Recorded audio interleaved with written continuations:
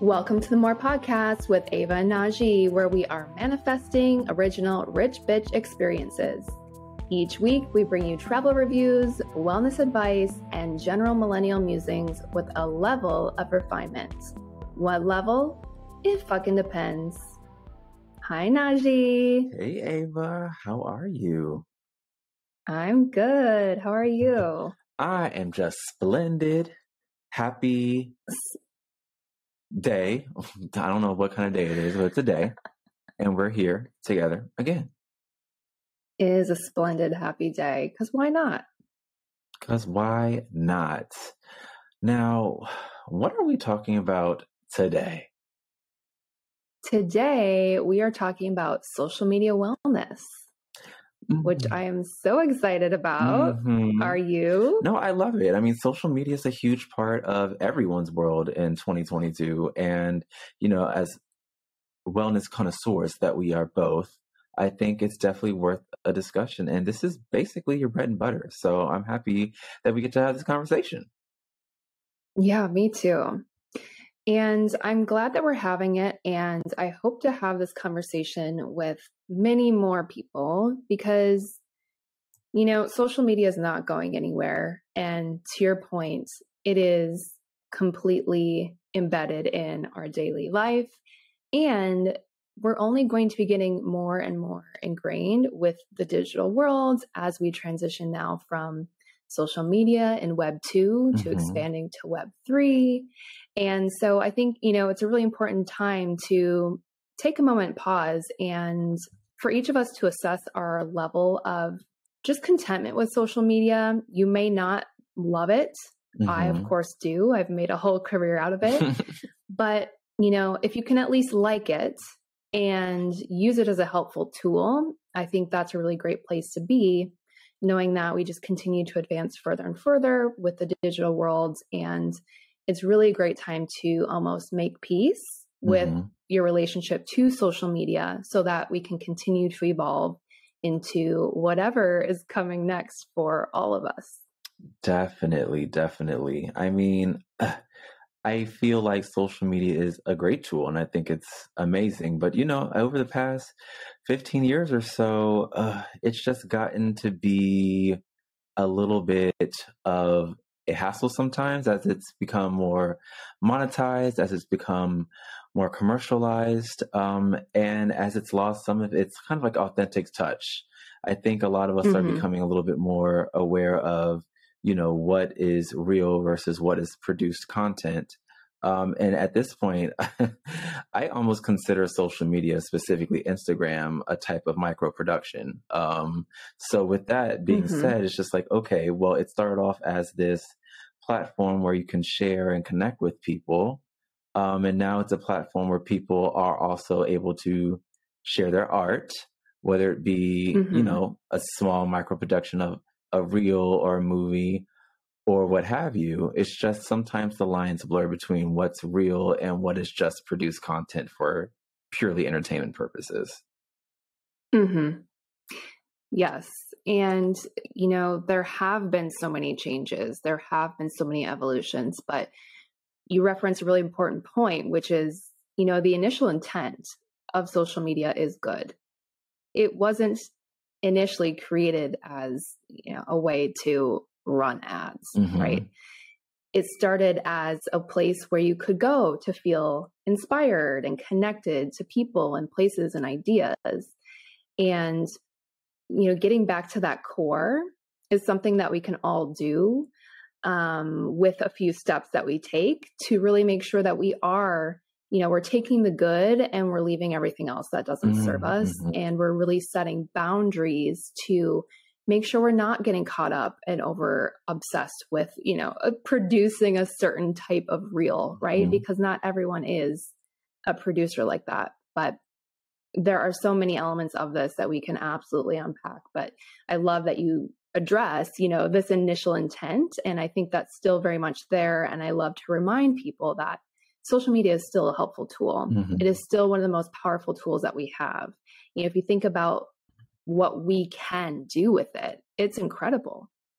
So how can we cut out all this nonsense that's come with, you know, the evolution of these platforms as they get so much more complicated and as those monetization elements were introduced, like advertising, obviously that changed you know the way a lot of people use and experience it mm-hmm. however it doesn't always have to feel like you are in a love hate relationship with social media right. it doesn't always have to feel like you are you know on stage just vying for views like we don't have to be in that place. And that's something that i'm really really passionate about helping people with now. Mm. so ava how does understanding that initial intent of social media that kind of pure beginning stages of it when it was about connecting and sharing how does that roll into the definition of what social media wellness is? That's a great question. So for me when i say social media wellness i quite literally think of it you know as a parallel to um, any other area of your life that you'd be you know looking for wellness it's in good health and the way that we can kind of look for those indicators to say, okay, well, you know, what's my level of social media wellness is thinking about a few key things. The first one of them being, you know, how do you feel? Mm-hmm. How do you feel after you've spent five, ten minutes on Instagram or Twitter or TikTok? Mm-hmm. You do feel like you're inspired, energized, you've connected with someone, or do you feel like you're triggered, you're pissed off, you're irritated? You know, what is that feeling? I think that's first and foremost the the best level of information we can gather to really determine where we're at. Mm-hmm. Uh, and then from there, I also like to think about okay, well, do I feel like I've learned something? Do I feel like I've connected with a friend, with a client? Am I using social media as a tool to advance me towards whatever it is I want to use it for. We're not talking just purely business here. Right. This is also something you can look at from a personal lens, right? Mm-hmm. So it's like, did I respond to my friend or did I connect with this new person? It's looking at, are you continuing to move towards your goals for using the platforms? Mm-hmm. And with that, do you have goals for using the platforms? You know, what are they? Mm. When's the last time you kind of thought about your intent in a certain platform? That can be super helpful as well. And then also, it's just feeling that your time spent is really deliberate. So, one of my big traps, if you will, personally, is like I just get totally um, like my mind just kind of blanks. Typically, I'll open Instagram for a specific reason. Mm-hmm. I wanted to, you know, look something up or respond to a message or reach out to a client yeah. or a friend. However, um, after a few minutes of all of this crazy content I'm being shown, I totally forget why the hell I opened it in the first place. it's a little bit of overload, isn't it? It is. And that's exactly, you know, social platforms want you to spend time because attention is the currency there. Oh, absolutely. Absolutely. So when you think about the reels, when you think about newsworthy, sensational type headlines or quotes, it's like that's exactly the point. It, people want to grab your attention mm-hmm. and they want to keep you there. Gotcha. And, you know, even after 12 years of working in social media, like I still, I still have these moments too where I'm like, oh shit, you know, mm-hmm. what was the mm-hmm. point? what was I doing? What am I doing? 30 minutes later, sometimes an hour later, not gonna lie, it's like, oh God. Oh gosh. It's almost like it's shrinking our attention span and just kind of taking our mind elsewhere. But when thinking about social media wellness, it's understanding how you feel about it, how you feel after using mm-hmm. it, um, what you're getting out of it, and the yep. overall intent. Does that kind of summarize mm-hmm. how we kind of think about what social media wellness is? Yes. And I think specifically it's looking at, you know, generally speaking, say you forget those specific points, it's how do I feel after I'm using mm-hmm. the platform? How do I feel when I leave? Absolutely. I know sometimes it kind of varies from time to time, I guess, depending on, you know, where you are in life or where you are in your day. Sometimes you feel energized because you saw something funny or you saw something super informative. And sometimes it can be a little bit of a trigger to something way back in your past or maybe a deep seated insecurity um, that yeah. kind of pops up. So it's just like how how do you properly navigate that, right? It's just like mm-hmm. does that is that where like the boundaries come in when actually assessing how you feel after using the platform? Yes, that is and so boundaries you nailed it. That is that is the key here Ooh. to bringing your experience back into balance. Mm-hmm. So if you feel like your social media wellness check is like, oh, a little questionable, which to be fair, I think everyone everyone probably feels that way, yeah. right? Mm-hmm.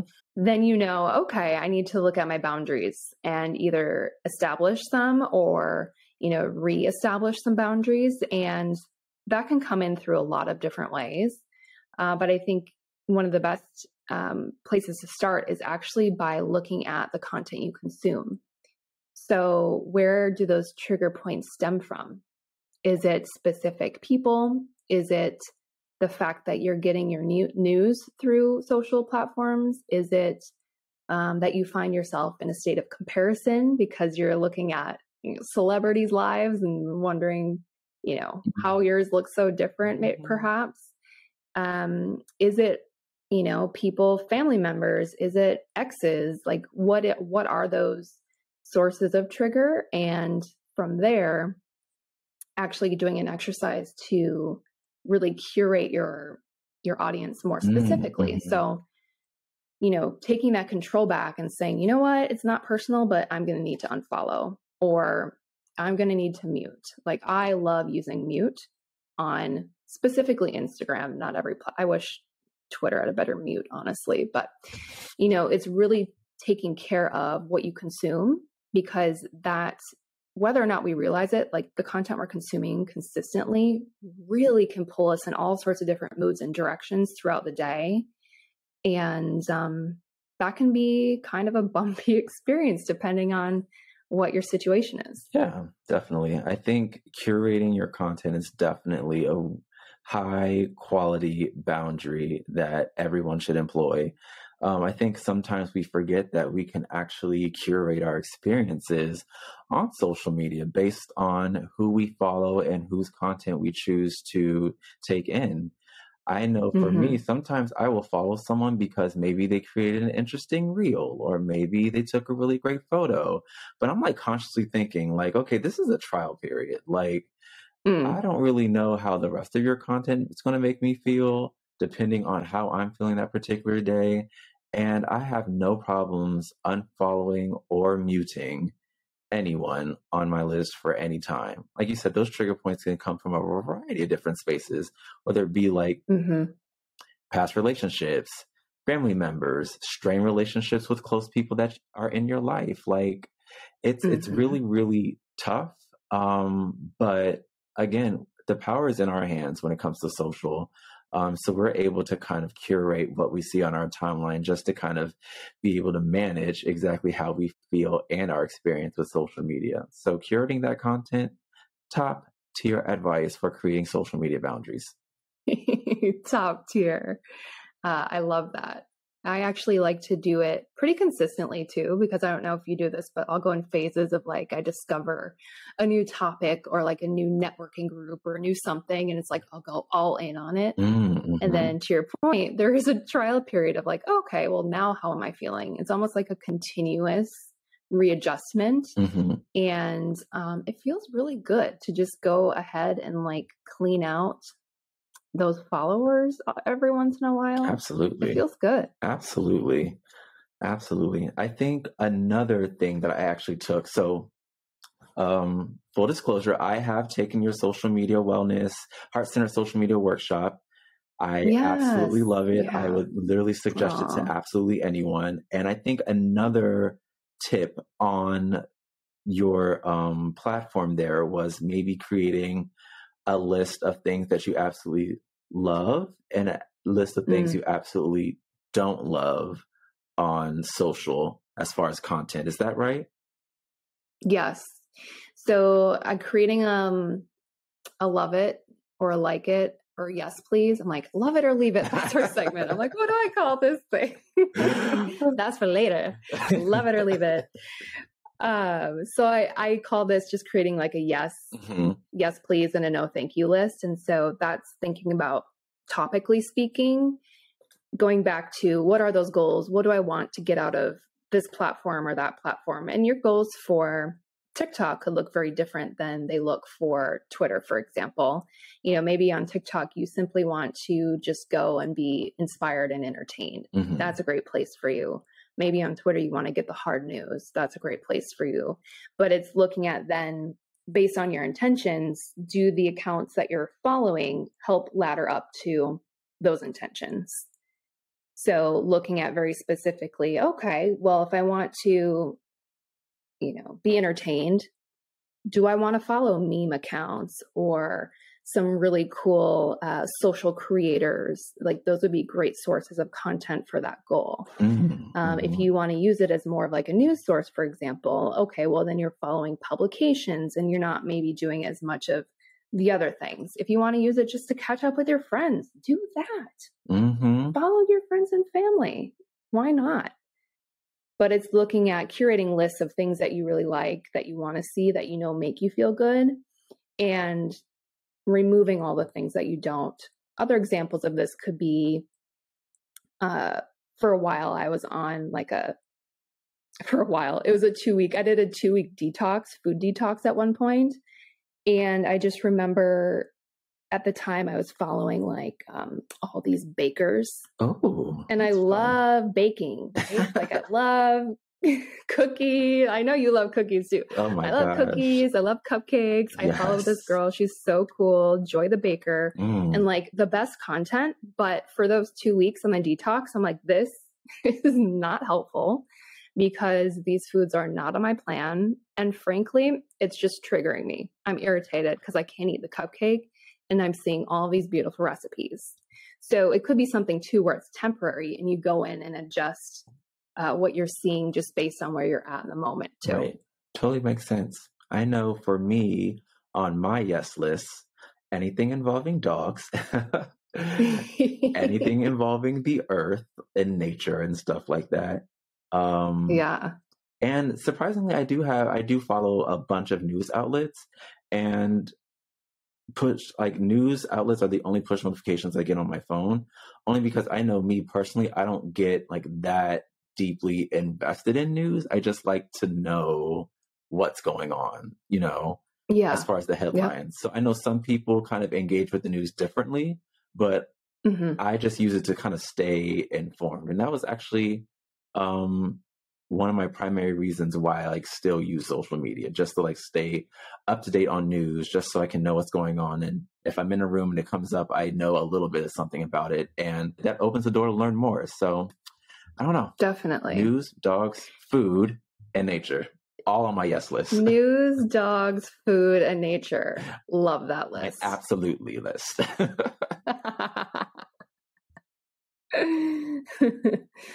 I love that. I don't even know. Like my list changes all the time, but nature, mm-hmm. I would mm-hmm. say NASA is one of my favorite nature accounts. Yes, yes, yes. Love NASA.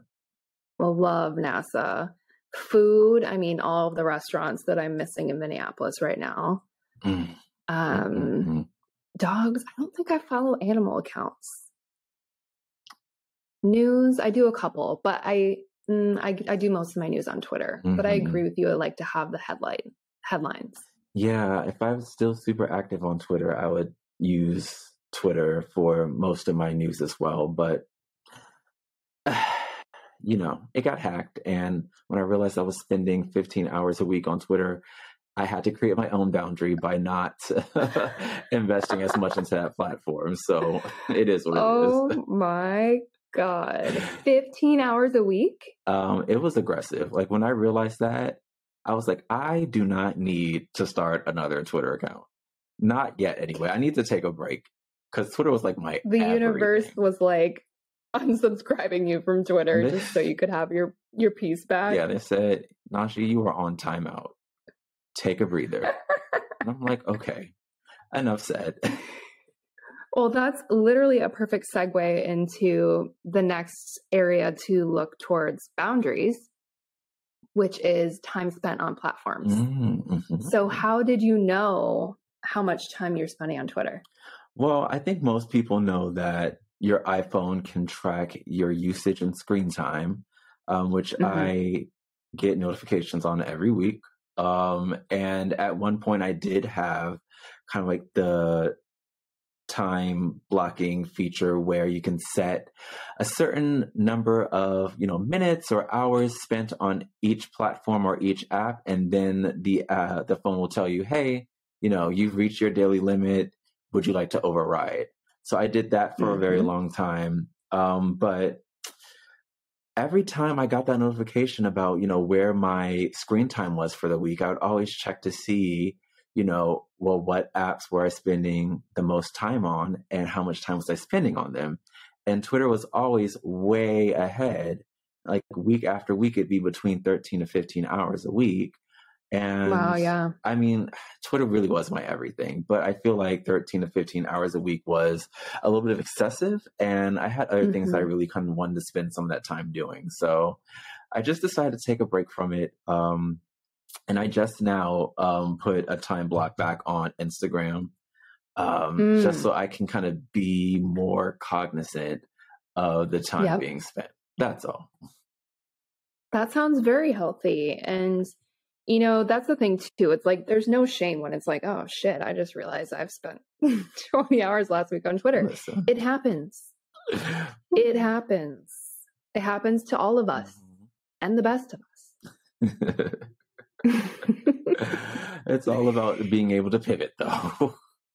pivot exactly. and realize when you have a problem. Not that it's a problem necessarily, but it's like, okay, it, does this align to my goals and what I'm trying to do? Basically what you said earlier. And I think I realized that maybe it's time to take a break. Yeah.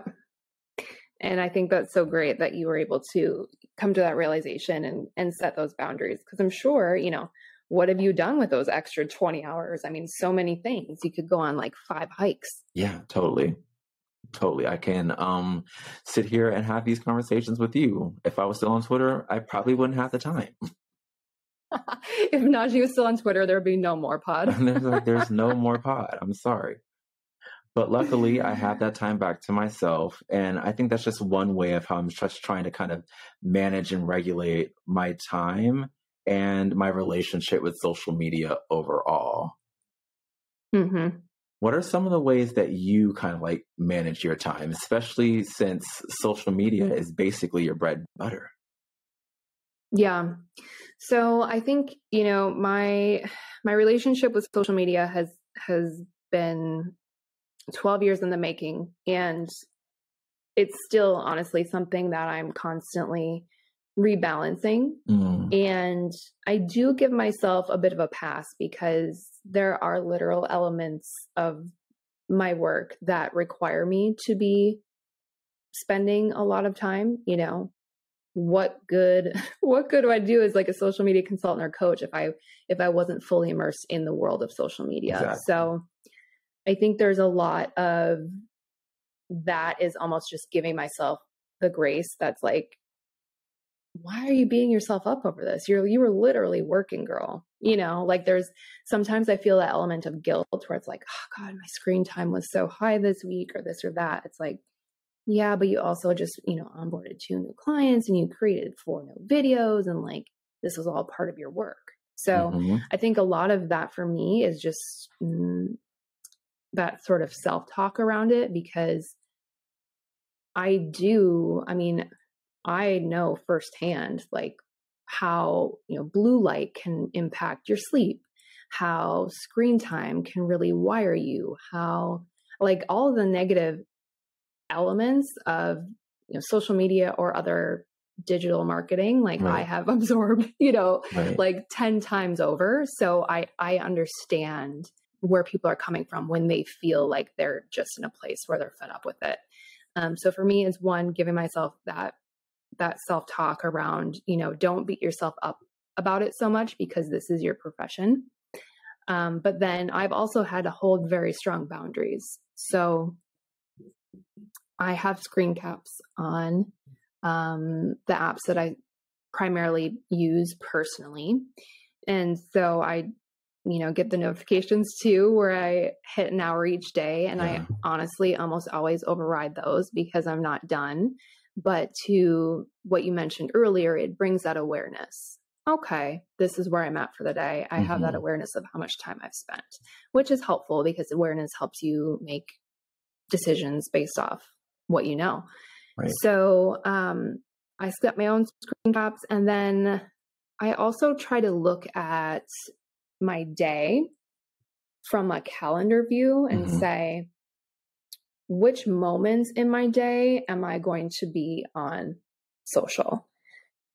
I think, you know, in 2020, when everyone was sent home and we're sitting at home and we're sitting online, oh, yes. a lot of those boundaries that people did have at one point, and we actually saw this as an industry, the the trends in usage in terms of most popular time of day to post, when most people are online, all those rules went completely out the window mm.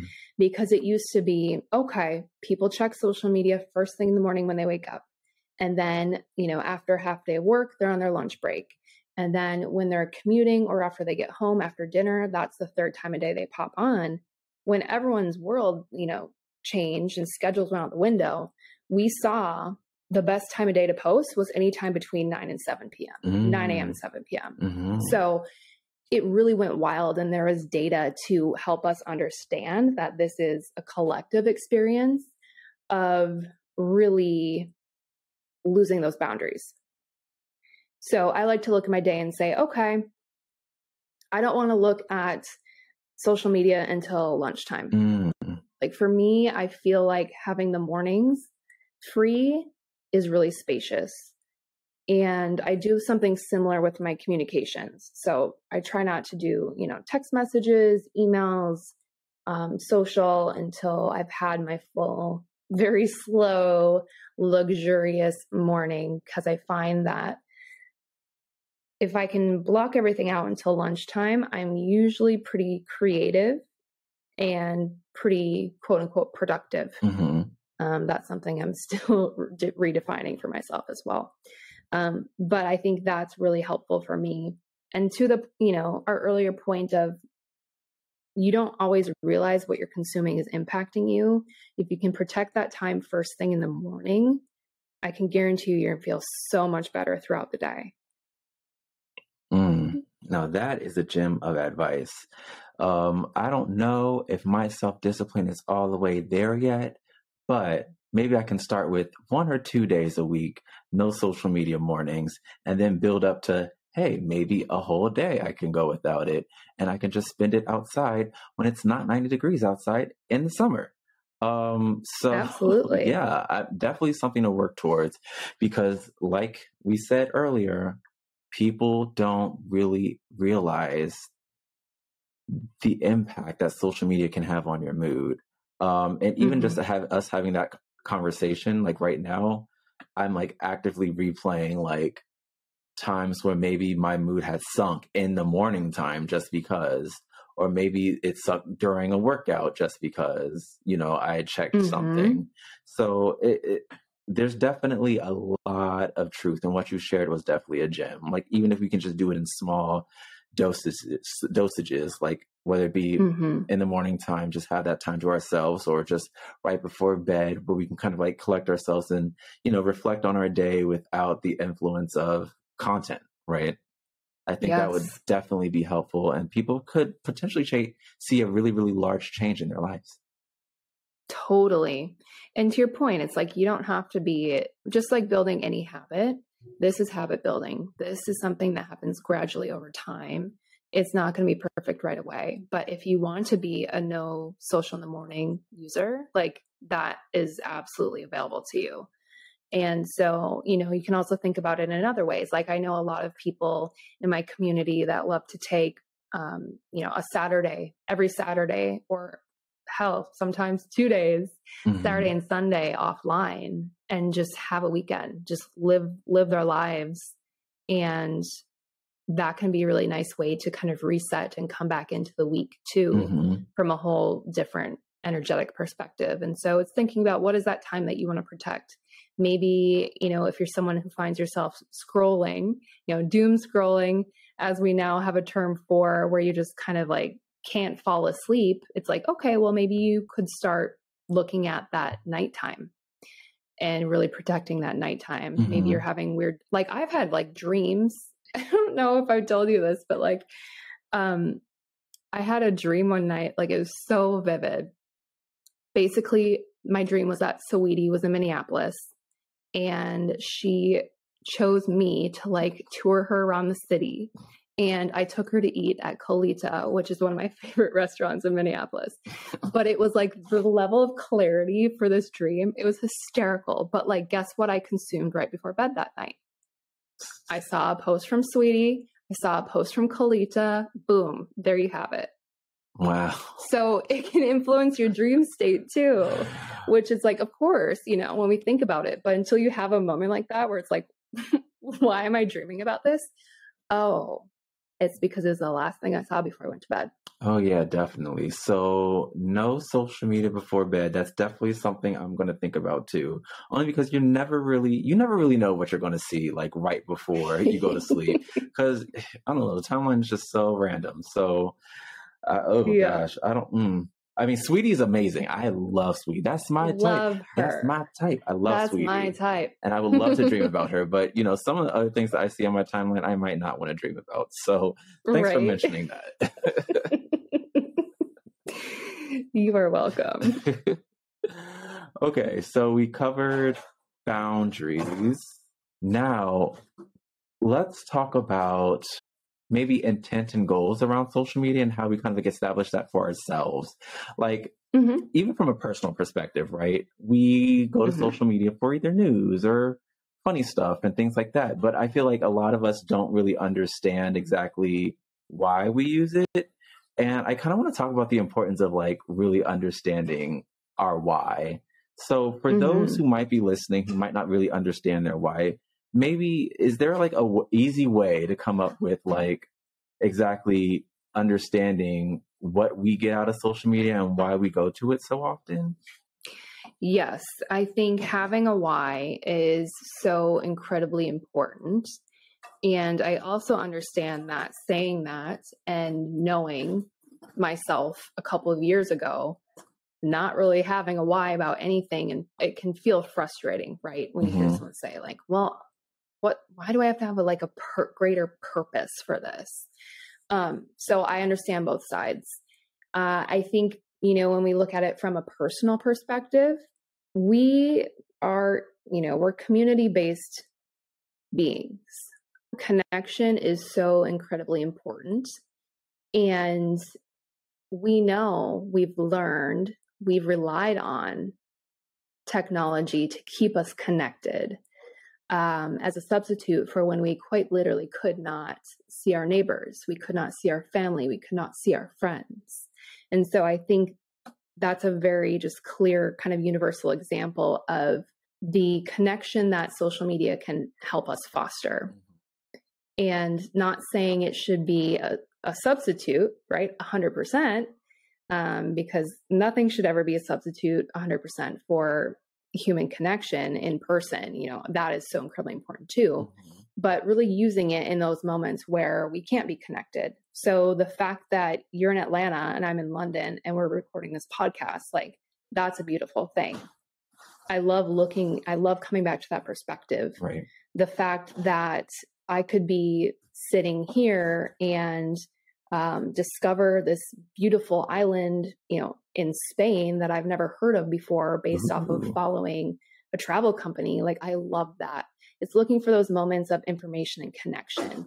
It's the fact that my 92 year old grandmother's on Instagram and she's like viewing and keeping up with my stories. Like, I love that. Yeah. It's definitely. coming back to those moments of connection and really just that's if you choose to use social media for nothing other than just personal use, I think connection is and always will be the strongest use case. I'm obsessed with that, first of all. Um, connection is really kind of like the purpose and the point of social media, just overall. And it kind of really gets back to that essence of kind of what it was. So, I mean, connection's always going to be a really great point. And basically how you establish those connections and use social media to do it will definitely always going to be the why always mm-hmm. Mm-hmm.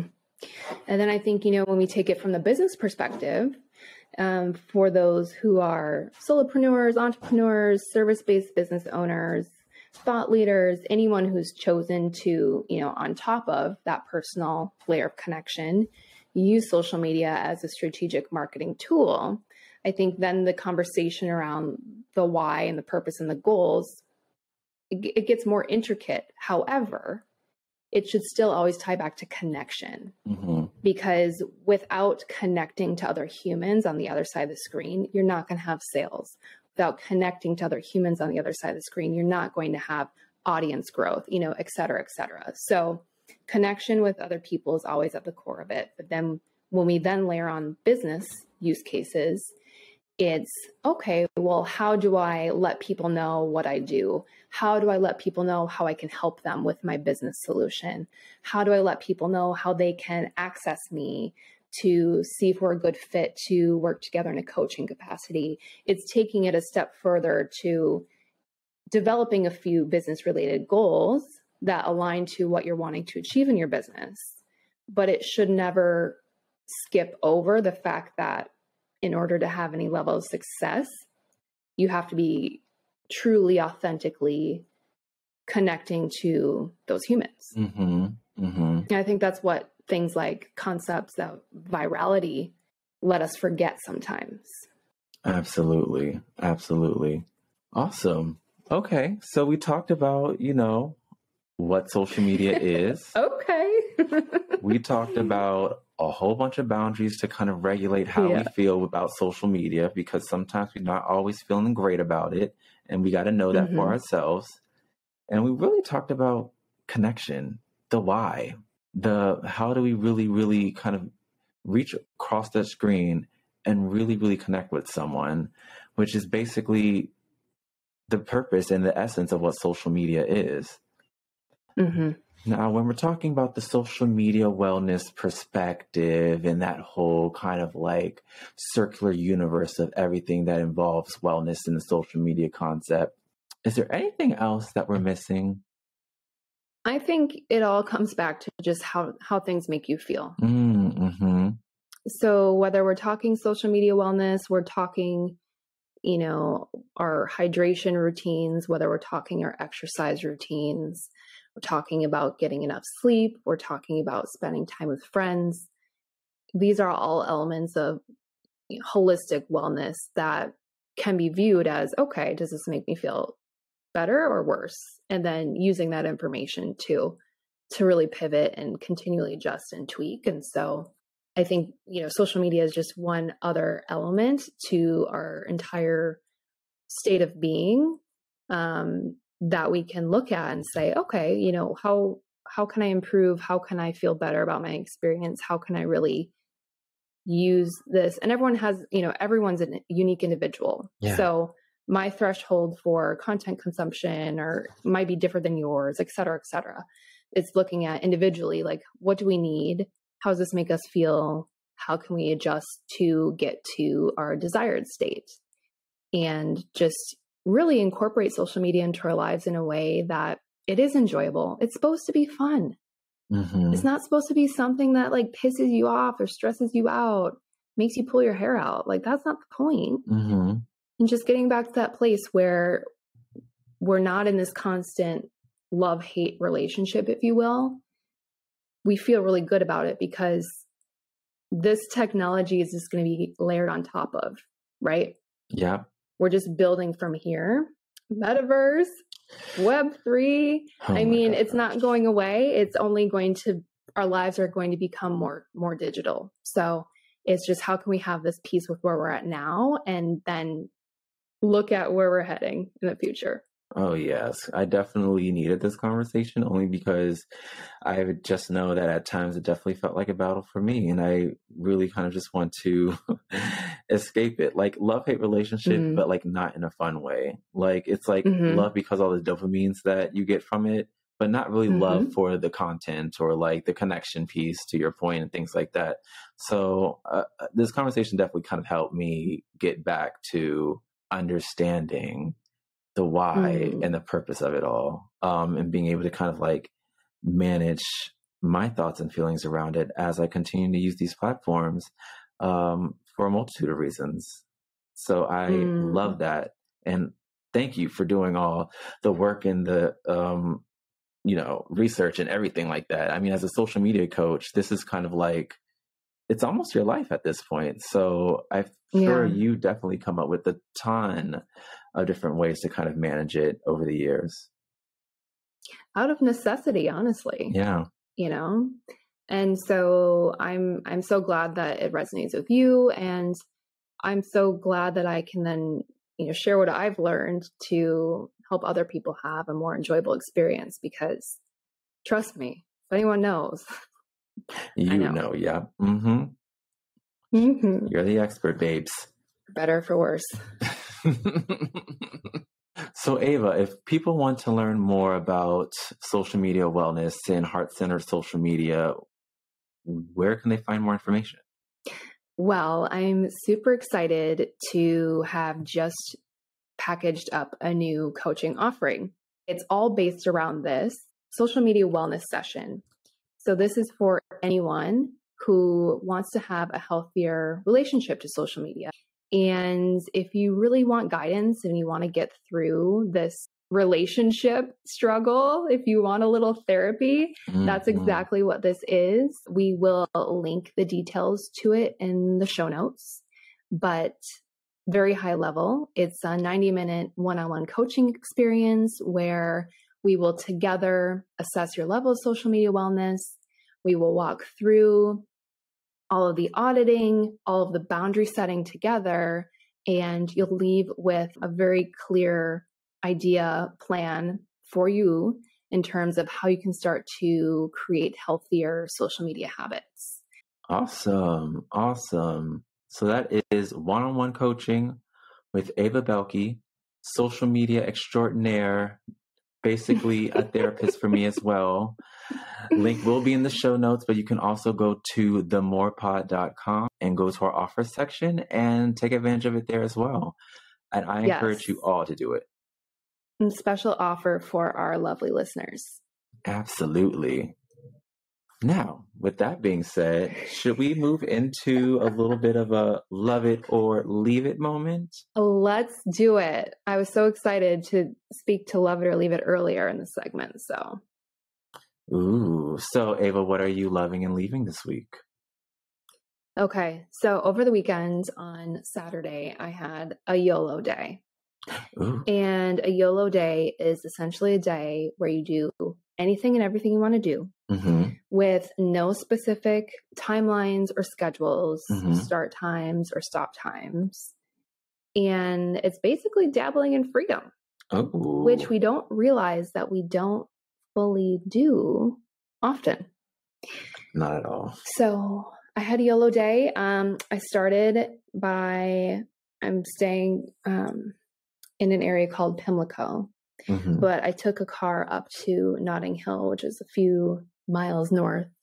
And I got dropped off there, and I had breakfast at a little spot, and then I just wandered, um, checked out the market there, I looked at a bunch of different stores. Like I don't shop often, but there's a lot of cute like interior design stores and record shops and vintage shops and just kind of like bop my way down the street, come browsing on, here and there. I, I know.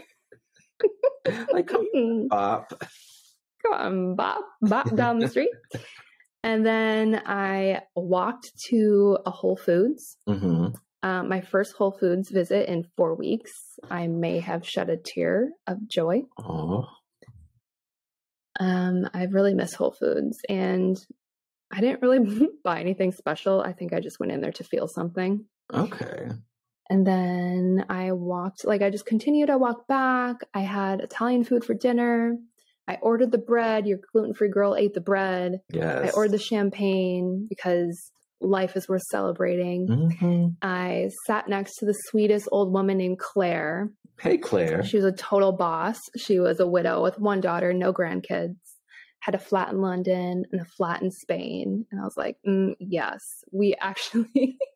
we actually ordered the same entree and same dessert not not planned twinsies twinsies so i think she has pretty good taste um, but it's just fun because I enjoyed wandering and just sort of going where I was called, YOLOing, having a day because I frankly don't do that very often. Mm-hmm.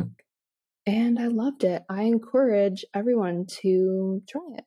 Awesome. Did you pick up any interesting little doodads um, while you were kind of checking out some bop. of the shops? on your little bop? Any interesting doodads on your bop down the street in Notting Hill? Let's see. No, no doodads on the bop, but photos. Love it. Took some photos. There's actually a color palette that came through. Like everything I was ending up seeing was purple and pink, which are my favorites. Very on brand. Um, so that was it was very on brand. Cute. Okay, so So I love that. Awesome. I mean, it's always great to kind of like have a day to yourself and just do whatever, see whatever, um, and meet lovely old ladies named Claire. Hey, Claire, if you're listening. Oh my god, the chances of that would be absolutely insane. Honestly, you never know. You never know. You kept seeing your brand colors, basically our brand colors at this point, everywhere. so, I mean, the universe has a way of putting two and two together. That is true. I keep I kept saying to her, I'm like, well, maybe I'll see you at the park. she told me she goes for a walk in the park every day. We'll see you at the park, Claire. Very cute. Um, and honestly, I want to add one more love it. Okay. Today, I feel like I'm having a very Taurus moment. This is my Taurus rising, Taurus moon. Today, I had a piece of banana bread hmm and it came with whipped espresso butter, coffee Yeah. butter. Wow. I've never heard of that. Me neither. Hmm. But it was so good. Like, if you ever had banana bread, like with a cup of coffee in the morning, hmm it was like that, but the coffee was in the butter on the bread. That's some next level shit right there. Wow. As a rich bitch banana bread. I know that's right. But I had never heard of that before. And so I Espresso love that as well. Espresso butter. I know. Hmm. I'm Think of like coffee ice cream, you know? The first thing I thought of was that affogato that we had um, Yes. in Shoreditch. Love an affogato. That's actually the dessert I had at the dinner on Saturday night. Love it. So now I'm going to add espresso butter to my list of things that I absolutely must try. Only because I was getting that affogato feel and now I can't get it out of my head. Espresso next on my try list. You gotta find somewhere in Atlanta. Uh, I might have to order it from some. I just, I'm just so confused because I've never seen it before, and I'm just like, now how am I going to get it? Now how? Where there's a will, Najee, there is a way. I believe that too. I should have an update for you in the next couple of weeks. I look forward to it. Thanks. on my leave its, um, I'm tired of being hot and sweaty inside. Ooh, I hate that for you. I hate that for me too. Like you can't tell right now because I sound fine, but I'm really fucking hot. Ooh, It's like 80 degrees in here, no breeze, sun beating on my face. well, you look great, and I'm so impressed with your ability to keep it cool because I would have never guessed that it was that hot on the inside of your flat. Crazy. That is a huge compliment. Thank you. Yeah, it takes a pro. Takes a pro. Proud of you. Keeping it cool. Keeping it cool. Uh, what's on your list for the week? Um, I'm gonna keep it short and sweet. I am loving Beyonce's new album and all things Yes. Beyonce. Um, as we all know, she has a song called Virgo's Groove, and Mhm. um, it's probably my favorite song on the album for obvious reasons. So it tracks. oh, the Virgo's groove. It's definitely a groove. It's definitely my vibe. And if you didn't know, Beyonce literally is the queen of all Virgos. So I mean, Yes. it is what it is. Um, What's your math on that again? The Beyonce math? Will you do it for me? Sure. So if Beyonce is a Virgo and Mhm. I am a Virgo, then Mhm. I am Beyonce. There it is. It's basically A squared plus plus B squared equals C squared. For all you people. Equals. Najee. Yeah. So basically, I am Beyonce. Beyonce is the queen of all Virgos, and I mean, she can do no wrong. I can't wait till the tour comes out. Oh, there's going to be a tour, you think? Or is it known facts? Uh, I mean, there has to be a tour. So I I don't even know what the I can't compute the question. Well, uh, who have you seen on tour in the last like three years? Dua Lipa. Oh, you did see Dula. I did. It was an amazing show. So, um, yeah, she needs. She better go on tour. She knows better. And Beyonce, if you're listening, God willing, we're still waiting for that Formation DVD. Okay. Oh, the Formation World Tour DVD. I'm tired of you trolling us for it. Whatever. Whatever. So, did you pre-order it like four years ago? No, she just never released one. And then she released a shirt on her merch website that says, Where is the FWT DVD, Formation World Tour DVD? And I'm like, This bitch is a troll. She thinks she is so funny. Where is the DVD, B? Anyway, whatever. Well, if you keep talking to her like that, there's not going to be a tour. Uh, she knows better. I love Beyonce. She's everything. She's my everything. She's always going to be my love it. Um, leaving. I'm leaving everyone who hates Beyonce. The end. Mm. Do you think there are people that hate Beyonce, or do you think they're just people that aren't completely obsessed? Like they're not in the beehive? You know, and I'm totally okay with them not being obsessed, not being in the beehive. The only thing that you're not going to do is deny her talent. She's an mm. amazing singer. Mm-hmm. She's a great performer. You don't even, she doesn't have to be your number one. She doesn't even have to be the best in your eyes as long as you recognize the talent and the dedication. That's all. Those who don't, that. I'm leaving them. I don't need that negativity in my life. In the dust. But we love everyone. So, yes. love it. Okay, so I'm glad to hear that the Virgo track is resonating. It's Virgo approved. So much. Mm-hmm. And the fun part is you don't even have to be a Virgo to love it. Is that your favorite song? Yes, that and of course the legendary Alien Superstar. That's definitely a vibe. Um those are probably top two right now, but I still deserve to give the album a good two more listens because I've literally only listened to like half of it. No, three quarters of it once. Well, and you're not one of those psychos that listens on shuffle, right? No. Oh my gosh.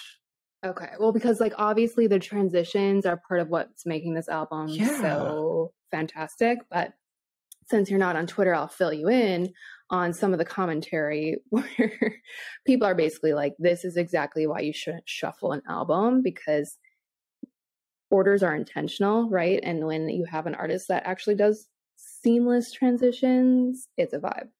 Yeah, I really still can't believe there are people that will listen to an album on first listen on shuffle. Like I think that's borderline terrorism to me. Um Why is like, shuffle even an option? That's what I don't get.